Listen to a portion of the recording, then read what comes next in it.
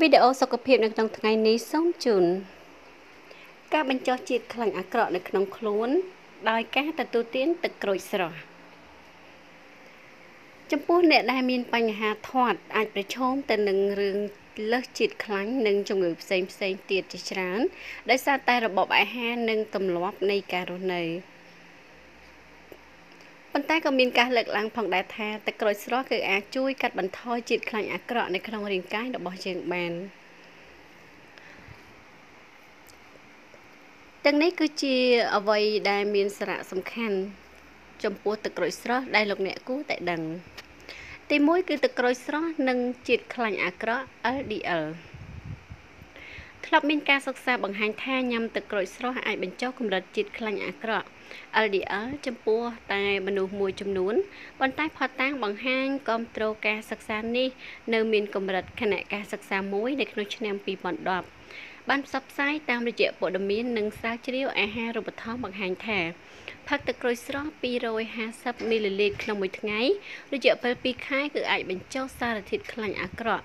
សម្រាប់អ្នកដែលមានជំងឺកម្រិតកូលេស្តេរ៉ុលសរុបខ្ពស់ប៉ុន្តែការសិក្សាមួយទៀតផ្ដោតតែចំពោះជំងឺសរសៃឈាមបេះដូងជំងឺដុំកំណកឈាម និងបញ្ហាជីវសាស្ត្រលើសរសៃឈាម ធ្វើឡើងនៅខែមីនាឆ្នាំ2004បែរជាបង្ហាញថាទឹកក្រូចសុទ្ធស្រស់មិនមានសកម្មភាពបញ្ចុះកម្រិតខ្លាញ់អាក្រក់ LDL ចំពោះជំងឺលើសកម្រិតជាតិកូលេស្តេរ៉ុលឡើយទី2ទឹកក្រូចស្រស់និងខ្លាញ់ល្អ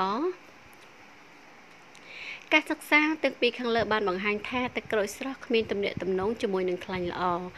ដែលប៉ុន្តែការសិក្សាមួយគឺធ្វើឡើងលើ2000ករណីផ្សេងទៀតចេញផ្សាយនៅកាសែតអាហារូបត្ថម្ភអាមេរិកបង្ហាញថា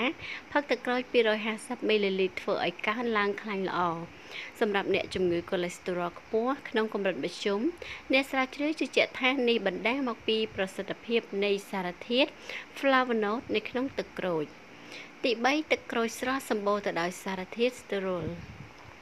សារធាតុស្តេរ៉ុលនិងសារធាតុស្តេណុលគឺត្រូវបានស្គាល់ថាជាហ្វីតូលស្តេរ៉ុលជាសារធាតុធម្មជាតិផលិតដោយរុក្ខជាតិស្រដៀងនឹងកូលេស្តេរ៉ុលប៉ុន្តែវាអាចទៅបញ្ឈប់ការបឺតស្រូបកូលេស្តេរ៉ុលនៅក្នុងបំពង់អាហារបានបើយោងតាមសាកលវិទ្យាល័យ California Davis បានបង្ហាញថា ការញ៉ាំសារធាតុនេះជាប្រចាំ1ទៅ2ក្រាមអាចបញ្ចុះខ្លាញ់អាក្រក់ពី60ពី6ទៅ10% ម៉ាកផលិតផលខ្លះពង្រឹងផលិតផលរបស់គេដោយប្រើសារធាតុនេះដើម្បីបង្កើនប្រសិទ្ធភាពរបស់ទឹកក្រូចស្រស់ទី4សារធាតុ flavonoid យ៉ាងទៅតាមវិទ្យាស្ថាន Linus Pauling នៅអាមេរិកសារធាតុ flavonoid ក្នុងទឹកក្រូចស្រស់មានជាតិ naringenin និង hypertonic Reddit ដែលដើរតួជាភ្នាក់ងារប្រឆាំងអុកស៊ីតកម្មគេជឿថាសារធាតុនេះគឺមានប្រសិទ្ធភាពវិជ្ជមាន លើកម្រិតកម្រិតកូលេស្តេរ៉ុលទោះយ៉ាងនេះក្តីការសិក្សាទាំងនេះភាគច្រើនគឺធ្វើឡើងចំពោះសត្វប៉ុណ្ណោះ